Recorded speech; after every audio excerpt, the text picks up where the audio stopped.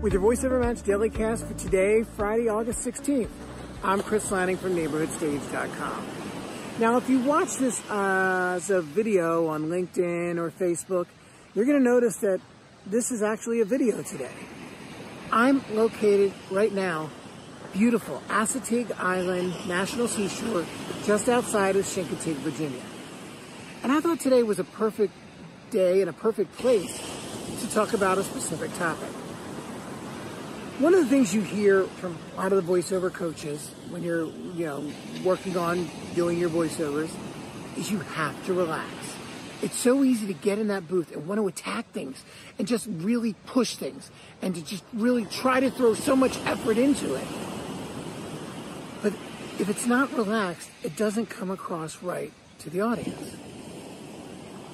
And of course, I'm thinking about relaxation now because I'm standing by a beautiful beach. What's not to think about, right? Sometimes it is hard to relax, and even out here. I should be out here just enjoying the view, but no, I'm busy working on stuff because that's who I am. I'm going to try to turn off the camera in a minute and just really try to relax and appreciate because as you can tell, the sun is just getting ready to come up. But I just wanted to get on here and just remind you we haven't done a whole lot on mindset when it comes to voiceovers. We're going to get into that more in the coming future. But let your biggest takeaway be that when you step into that booth, when you have that script, you know everything you need to do and everything you want to do. Take a moment, take a breath, relax, and relax right into the script. I think you'll find that your performances will come out much better in the end.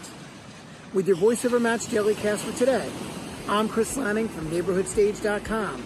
Have a great day and have a beautiful, relaxing weekend.